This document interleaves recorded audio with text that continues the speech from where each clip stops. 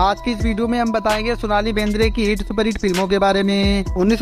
में सोनाली बेंद्रे की पहली मूवी आई आग और दोस्तों ये मूवी फ्लोप रही उन्नीस में इनकी मूवी आई बॉम्बे और भाई साहब ये मूवी हिट रही उन्नीस में इनकी मूवी आई दिल जले और दोस्तों ये मूवी सेमी हिट रही उन्नीस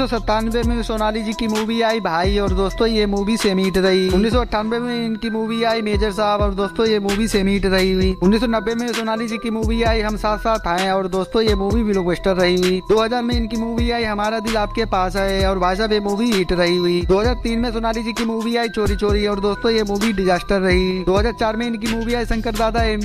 और दोस्तों ये मूवी ब्लॉकबस्टर रही